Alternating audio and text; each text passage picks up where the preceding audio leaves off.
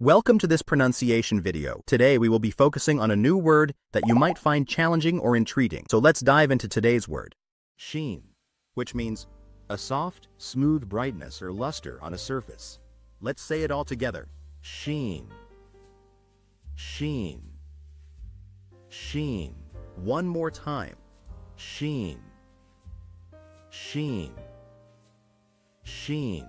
Thank you for joining us on this adventure in pronunciation. Remember, language is a journey, not a destination. Keep exploring, experimenting, and expanding your linguistic horizons. We'll see you next time.